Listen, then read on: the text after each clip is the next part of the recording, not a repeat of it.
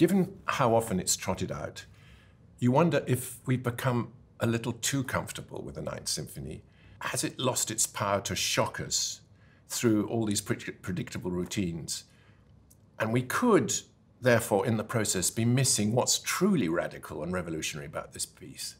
Think of those the four movements, how they're so different from one another and yet conceived in a single arc as a trajectory pointing towards the setting of Schiller's Ode to Joy.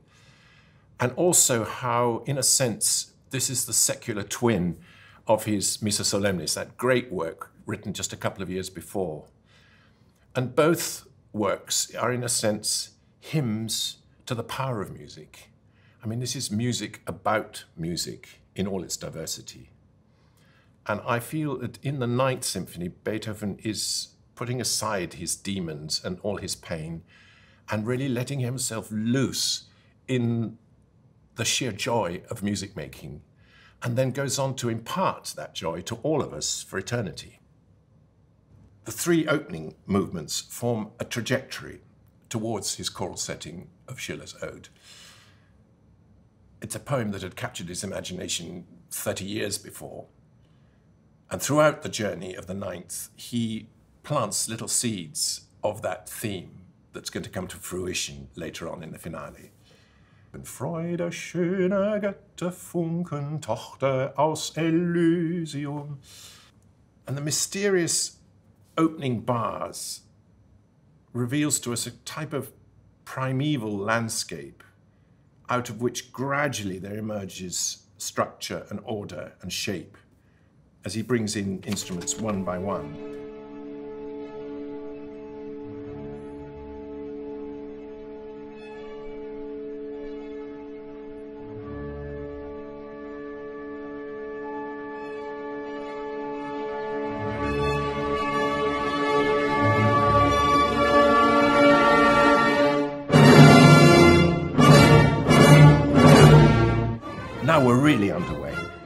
Splintered fragments ricocheting around the orchestra, strings to winds, back and forth in defiant combat.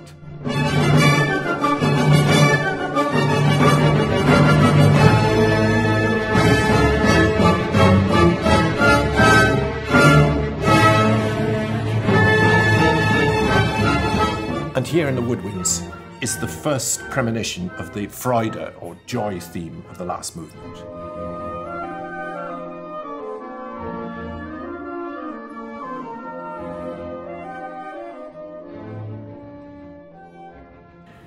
If you've been following these introductions to the nine symphonies, you'll have noticed how playing them on the period instruments of the Orchestre Révolutionnaire et Romantique is a quite deliberate bid to recreate the sound of Beethoven's imaginary orchestra, the orchestra that he never actually could hear himself, and how these instruments bring greater individuality of timbre, greater transparency, much more dynamic energy and rhetorical impact. It's as though each of them is, is, is speaking a, a, personal line in, in a drama, which is so valuable in bringing out all the rhetoric in Beethoven's conception of the symphony.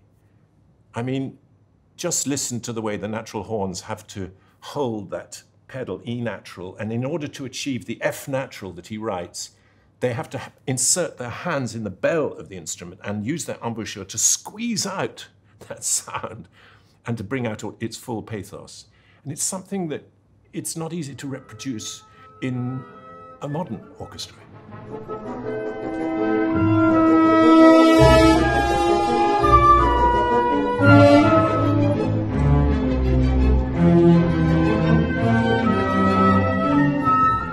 Here comes a moment of incredible excitement and white hot radicalism. And Beethoven galvanizes his whole orchestra into a stampede hurtling towards a brick wall at full speed. And what began as a misty shroud has by now developed into a colossal apocalyptic roar.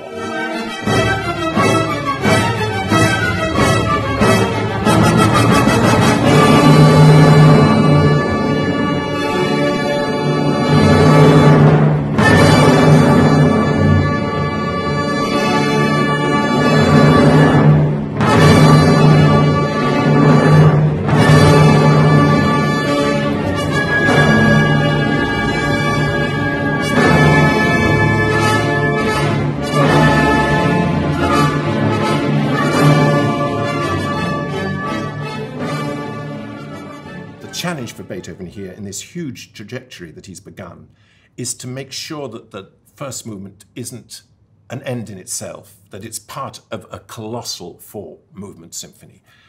And he has to keep his eyes on the distant horizon and to make sure that he maintains the momentum and the ongoing tension. And I think that's the reason why the coda begins in such an eerie world, like a funeral procession.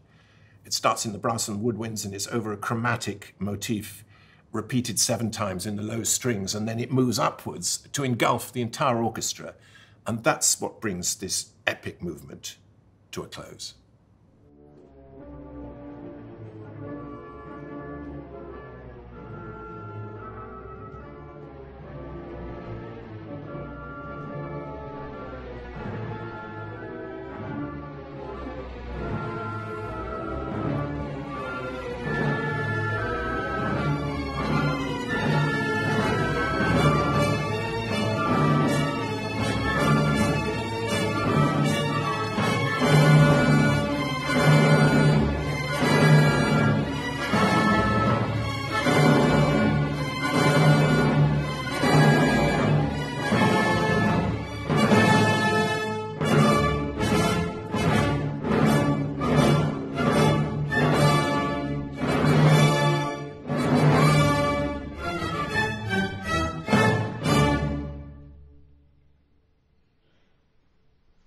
Second movement is marked molto vivace, but this is no light-hearted scherzo.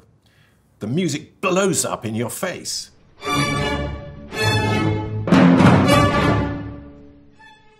Only now does he start a light-footed fugue, and soon we realize that he's building on his Seventh Symphony scherzo in the insistent rhythmic propulsion and sense of thumping Bacchic frenzy, but it's double its length. It's as though he needs to balance that epic first movement and give it equivalent weight and substance here.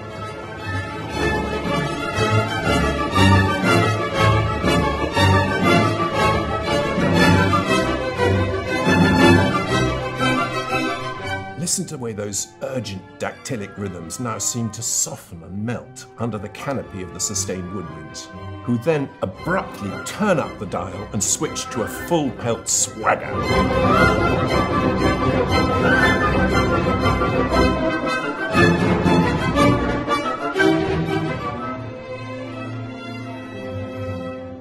For the development section, Beethoven switches from irregular four-bar groupings to three-bar units. Well, you'd expect a conductor to notice that.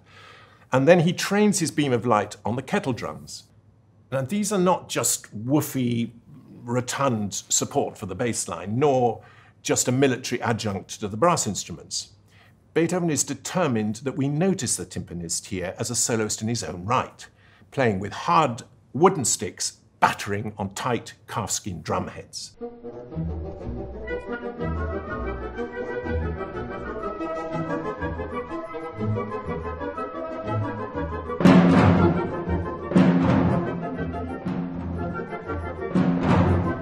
A close look at the autograph score reveals that the accents that every timpanist usually plays on every downbeat here is actually a chain of diminuendos and it's a sign that Beethoven is using his drummer as a kind of master of ceremonies, choosing whether to chide the woodwinds for being so timorous or to quell the onrush of the revelers.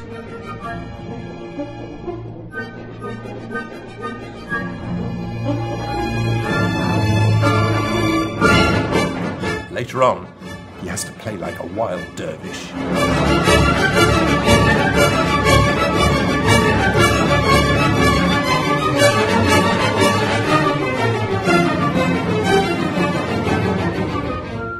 Another extraordinary moment in this movement is the way that Beethoven engineers a transformative acceleration into his trio section. It's almost a sort of magic trick, getting faster in order to end up getting slower.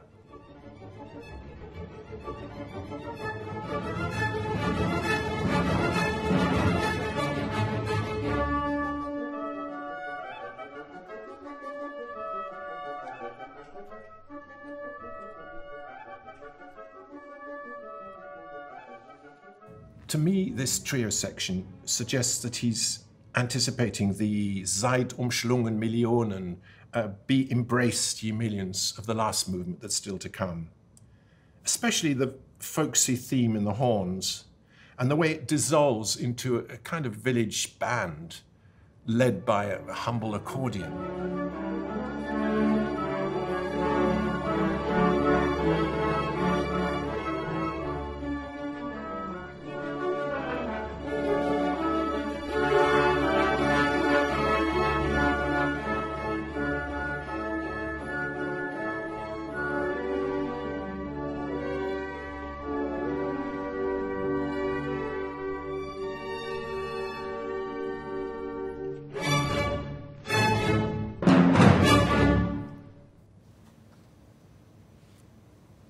Out of this comes a slow movement. It's a sort of island of repose after the maelstrom and all that tonal storm music that has dominated up to this point.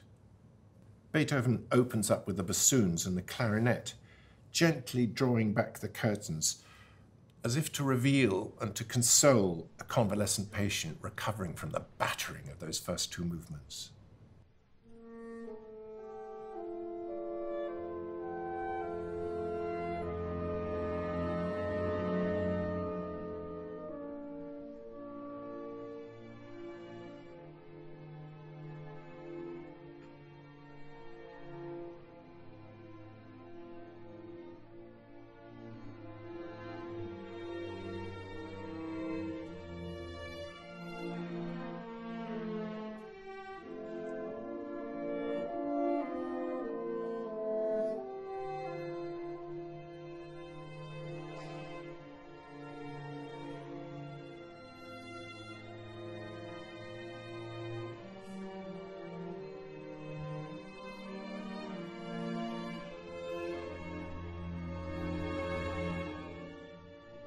This Adagio molto, he specifically marks cantabile, singing, as if to remind us that melody must always be given priority above all else, as he once wrote.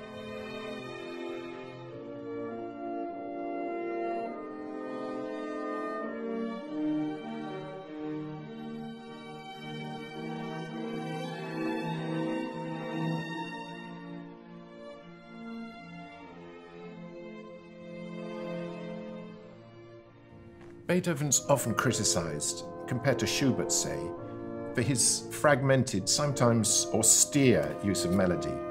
Well, not here. It just pours out seamlessly.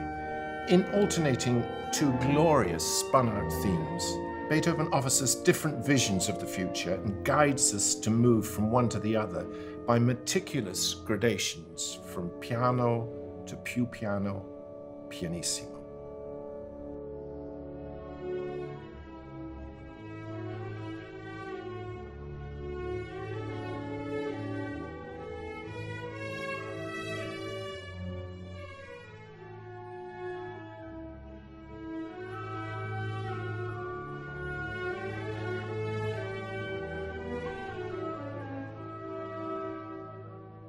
Many people have said that they feel that this is the passage in the Ninth Symphony where they feel Beethoven is addressing them personally, with thoughts that, as Wordsworth said just at the same time, do often lie too deep for tears.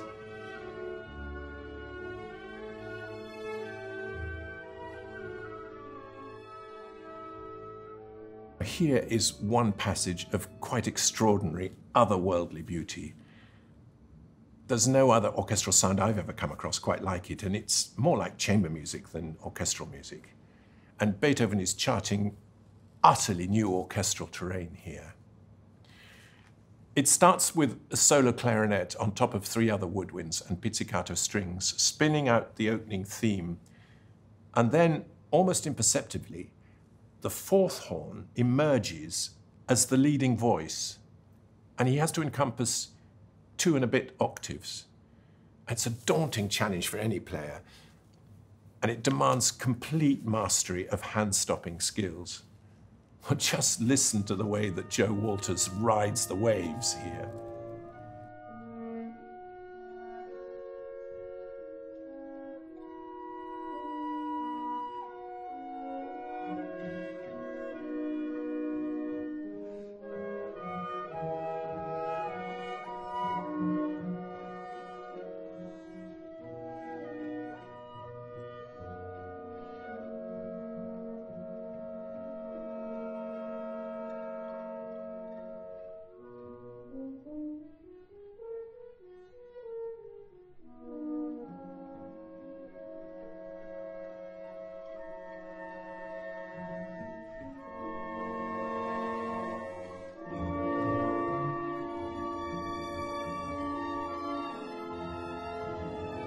Now comes a brand new soundscape as the fourth horn hands over to the first violins, who now soar up into the stratosphere with roulades of pure silk, from whence they must play like gods to do justice to Beethoven's vision.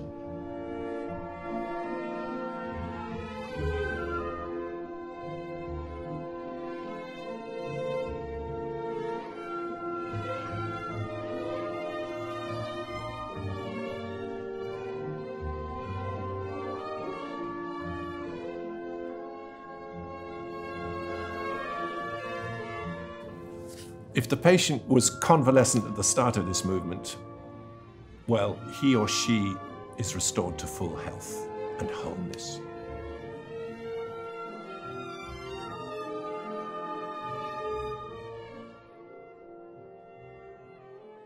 The finale opening shatters that peace. Wagner described it as a terror fanfare and we're back to the tumult and despair of the first movement, only this time with added klaxons. It reminds me of a traffic jam in Paris, of angry taxi drivers leaning on their car horns during rush hour.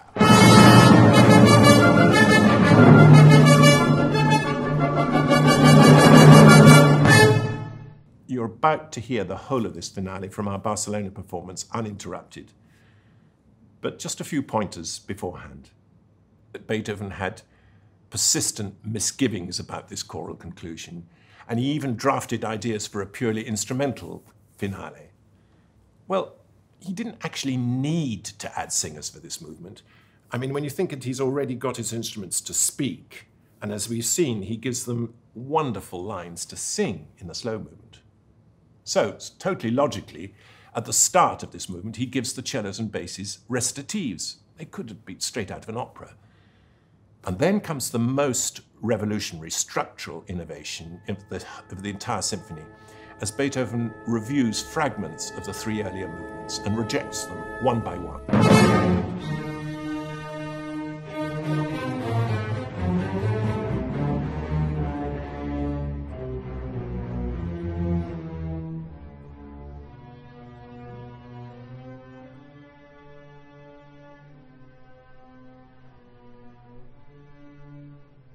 So here's the text that we find in the sketchbooks.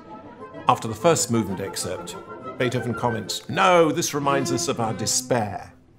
And then after a snippet from the scherzo, nor this either, something more beautiful and better. And then, after the third movement, quote, nor this, too tender. We must seek for something more animated. And finally, after a bit of the Freude theme, ha, this is it. Now it is found, I myself will intone it. And so here it is at last. A simple tune anyone could sing or whistle, starting as a soft murmur, and then from a collective humming, it burgeons out into a euphoric statement for the full orchestra. It's like a choir in full sail, and yet, so far, without a single singer.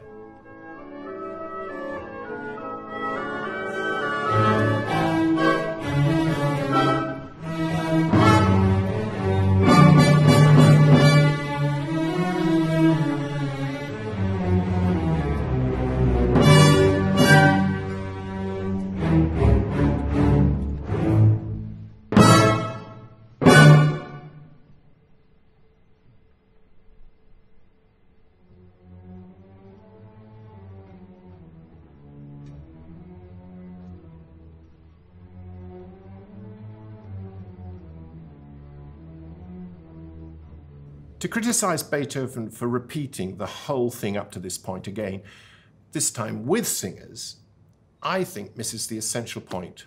For it's just not an accident, it's not a, a misjudgment. He needs to get up ahead of steam before he can unleash his voices.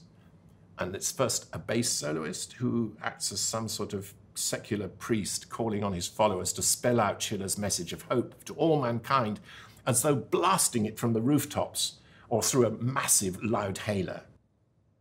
The most poignant and visionary passage in the whole of the finale is the slow mystical section towards the end where Beethoven floats his sopranos up to a high G pianissimo and leaves them there to impart his great dream and hope of über Sternen muss er wohnen. Up above the stars, he must dwell, the Creator.